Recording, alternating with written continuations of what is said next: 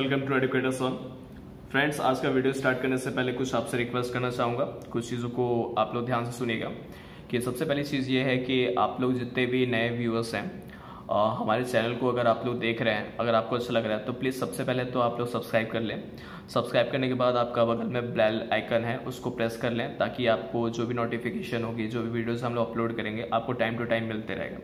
Second चीज़ ये है कि फ्रेंड्स हमारा जो चैनल है एजुकेशनल चैनल है तो ये बहुत ज़्यादा स्पीडली ग्रो नहीं करेगा बिना आपके सपोर्ट के। तो मैं आप लोग से एक रिक्वेस्ट करूँगा कि आप लोग सपोर्ट करें। सपोर्ट करने के लिए आपको कुछ खास करने की ज़रूरत नहीं है। बस आप सब्सक्राइब करें। जितने भी वीडियोस हमारे अपलोडेड हैं शेयर करें। अपने दोस्तों के बीच में शेयर करें हमारे चैनल के बारे में। और मैक्स टू मैक्स अपने दोस्तों से सब्सक्राइब करा हमारे चैनल को। आपके जो ग्रुप्स हैं, जो व्हाट्सएप ग्रुप है फेसबुक ग्रुप है, इन सब पे शेयर करें ताकि आपके दोस्त लोगों तक पहुँच सके। आपके फैमिली फ्रेंड्स तक पहुँच सके, क्योंकि ये एजुकेशनल आपका वीडियो है। हम इन फ्यूचर आप लोगों के लिए कुछ अच्छा करने के लिए हम लोगों ने ये भी चीज़ सोचा है कि आपका आगे हम लोग फेस टू फेस भी आएँगे और बहुत जल्दी फेस टू फेस आने वाले हैं आपके। तो फेस टू फेस आपके वीडियोस अपलोड होंगे, जिसमें आप लोग हमको देख सकते हैं और हम लोग आपको फेस टू फेस पढ़ाएँगे। जिसमें कि हम लोगों ने ये भी प्लान किया है कि सिर्फ़ और सिर्फ़ आपका इंजीनियरिंग नहीं होगा, सिर्फ़ और सिर्फ़ आपका स्कूल नहीं होगा, इसमें आपके कॉम्पिटेटिव के भी होंगे। कॉम्पिटेटिव के साथ साथ कॉलेजेस में आपके कॉमर्स लाइन भी आपका इंक्लूड होगा। मतलब एजुकेशन से रिलेटेड हर टॉपिक को, हर पार्ट को हम कवर करने की कोशिश करेंगे। और साइड बाय साइड हम लोग आप लोग को ये मौका भी देंगे इन फ्यूचर कि आप लोग भी अगर बहुत अच्छा पढ़ा सकते हैं, बहुत अच्छे एडुकेटर्स बनने की अगर आपके अंदर है अलग तो हम लोग आपको भी चांस देंगे। तो उसके लिए हम बस ये चाहेंगे कि आप थोड़ा सा हमें सपोर्ट करें।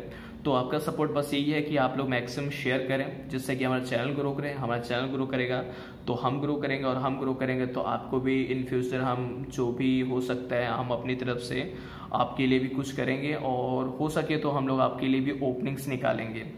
तो चलिए फ्रेंड्स आज का जो जो टॉपिक है, उस टॉपिक पे हम लोग आ जाते हैं। टॉपिक क्या है आपका? मॉस का है। जो कि आपका कंपोजिट बार हमारा क्वेश्चन चल रहा था, हमारा टॉपिक चल रहा है, जिसमें कि हम लोगों ने नंबर ऑफ़ न्यूमेरिकल्स किए हैं। आज जो हम लोग क्वेश्चन करने वाला थोड़ा सा डिफरेंट है। उस क्वेश्चन को हम लोग देखते हैं कि कैसे सॉल्यूशन होगा और किस टाइप का क्वेश्चन है और किस टाइप से पूछा जाता है। तो चलिए हम लोग क्वेश्चन ले लेते हैं हम लोग उसे। फ्रेंड से फिगर देख सकते हैं। फिगर को आपको समझने की कोशिश करिए पहले चीज़ तो है कि फिगर क्या है, कैसा है, उसको समझेंगे तो आपको क्वेश्चन बहुत इजी हो जाएगा। तो सबसे पहले पहली चीज़ जो है आपका देखेंगे कि दो स्टील आपका रॉड है। ये आपके स्टील रॉड है और ये आपका कॉपर रॉड है। दो स्टील रॉड की जो कि उसकी हाइट है टू मीटर और कॉपर रॉड की हाइट है आपकी 1.5 मीटर ठीक है? तो यहाँ पे कहीं ना कहीं आपका जो लेंथ है इक्वल नहीं है तीनों का, ठीक है? तो अब इसमें क्या करना है, उसके अकॉर्डिंग हम लोग जो सॉल्यूशन किस तरीके से करेंगे, वो हम लोग देखेंगे, आगे चल के। और दूसरा चीज़ यह है कि ये जो है आपका 50 किलो न्यूटन का लोड जो है यहाँ पे अप्लाई है, ठीक है? अब आगे देख लेते हैं कि सबका डायमीटर जो है आपका 20 एम एम स्क्वायर का, आपका 20 एम एम का डायमीटर दिया हुआ है ई दिया हुआ है जो कि स्टील का आपका मॉडल ऑफ़ इलास्टिसिटी है 200 जीपीए ईसी दिया हुआ है 120 जीपीए अगर इसको जीपीए को कन्वर्ट करेंगे तो आपका हो जाएगा ten to the power three multiply हो जाएगा न्यूटन पर एम स्क्वायर में कन्वर्ट करने के लिए। तो अब क्वेश्चन में क्या बोला? Find stresses in each wire सारे वायर में आपको क्या निकालना है? स्ट्रेसेस निकालने की। सिग्मा एस भी निकालना है और सिग्मा सी भी निकालना है। तो चलिए, सबसे पहले हम लोग सोल्यूशन करते हैं। तो सोल्यूशन का सबसे पहला काम क्या है? तो सबसे पहले हम लोग एरिया निकाल लेते हैं। ठीक है? तो सॉल्यूशन करते हैं। हम लोग सबसे पहले एरिया निकाल लेते हैं। एरिया ऑफ़ स्टील तो एरिया ऑफ़ स्टील के लिए हमको क्या करना पड़ेगा? कुछ नहीं, देखिए, दो स्टील का रॉड है तो आपका टू इन टू हो जाएगा पाई बाई फोर ट्वेंटी का स्क्वायर तो इसका वैल्यू आ रहा है, वो है six twenty eight point three two M M square तो ये हो गया एरिया ऑफ़ स्टील अब दूसरा एरिया ऑफ़ कॉपर निकाल लेते हैं तो ये हो जाएगा पाई बाई फोर ट्वेंटी का स्क्वायर 314.16 mm स्क्वायर तो ये देख सकते हैं कि आपका स्टील का और कॉपर का एरिया हमारा निकल चुका है, ठीक है? तो अब ये हो गया। अब इसके बाद हम लोग को कुछ चीज़ें समझने की ज़रूरत है। जो की चीज़ मैं आपको समझा रहा हूँ उसको ध्यान से देखिएगा, ठीक है? तो हम लोगों ने कंपोजिट का एक केस पढ़ा था। कंपोजिट का हम लोग मतलब कंसेप्ट पढ़े थे। तो कंसेप्ट में वहाँ पे एक चीज़ मैंने बताया था कि आपका जो कंडीशन है वो कैसे फॉलो हो रहा है। देखिए, ध्यान समझिएगा। ठीक है? तो यहाँ पे हम लोग कुछ कंसेप्ट की बात कर रहे हैं। तो कंसेप्ट आप समझिएगा क्या है और कैसा है। तो पहला चीज़ ये है कि जो P होता था P1 वन प्लस पी जो फोर्स है आपका P1 वन प्लस पी जैसे अगर मान लीजिए दो ऑब्जेक्ट है कोई, ठीक है, दो ऑब्जेक्ट है आपका, ये मान लीजिए कि दो ऑब्जेक्ट है कोई, ठीक है।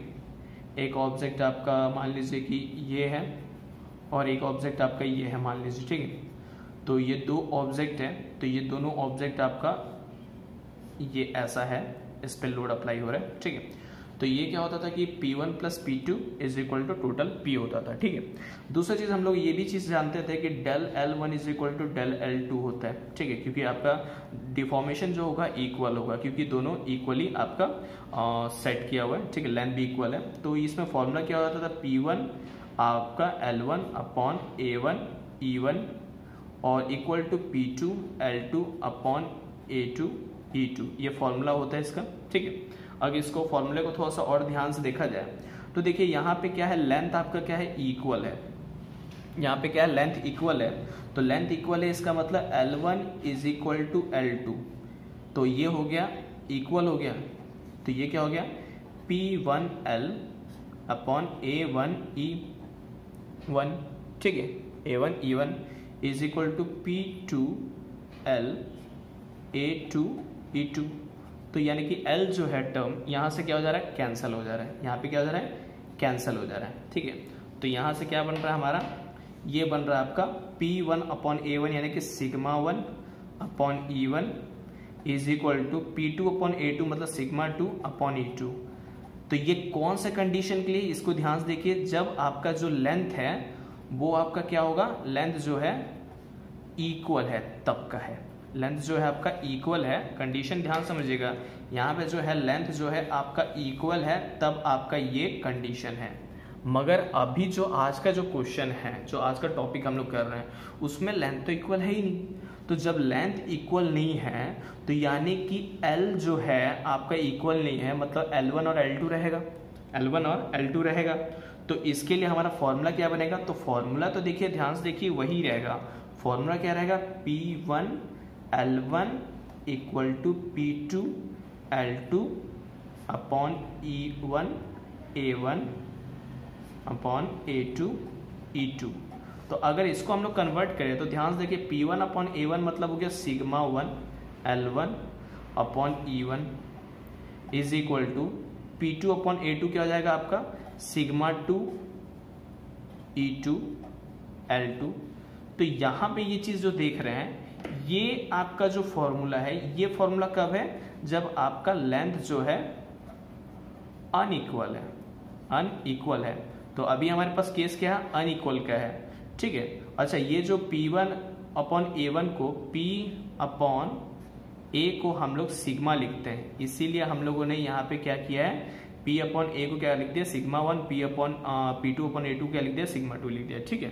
इस चीज़ को ध्यान देखिए तो हमारा अभी लेंथ अनइक्वल है तो लेंथ अनइक्वल है तो हमारा फॉर्मूला ये अप्लाई होगा, जो कि हम लोग नॉर्मली ये अप्लाई करते थे, याद होगा आपको? ये अप्लाई करते थे तो ये क्या है? इक्वल केस में अप्लाई करते, ये क्या है? अनइक्वल केस में अप्लाई करेंगे तो अनइक्वल के कारण हम लोग को ये यूज़ करना पड़ेगा।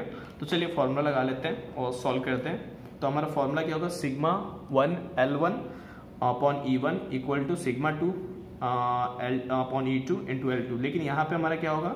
Sigma S L S upon E S क्योंकि हमारे यहाँ पे टर्म दिया हुआ है स्टील और कॉपर दिया हुआ है तो उसी के टर्म पे बात करेंगे। Sigma C E C into L C ठीक है? तो यहाँ से हम लोग वैल्यू निकालते हैं सॉल्व करते हैं, ठीक है?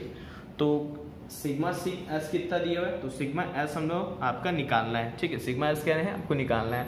तो सिग्मा एस इंटू एल कितना है? तो L S length of steel कितना था? तो वो था आपका टू मीटर तो उसको एम में कन्वर्ट करें तो टू थाउज़ेंड हो गया। ई एस कितना दिया था? तो वो दिया था टू हंड्रेड तो into ten point three same बात करें sigma C into L C जो दिया था वन पॉइंट फाइव मीटर यानी कि फिफ्टीन हंड्रेड हो जाएगा।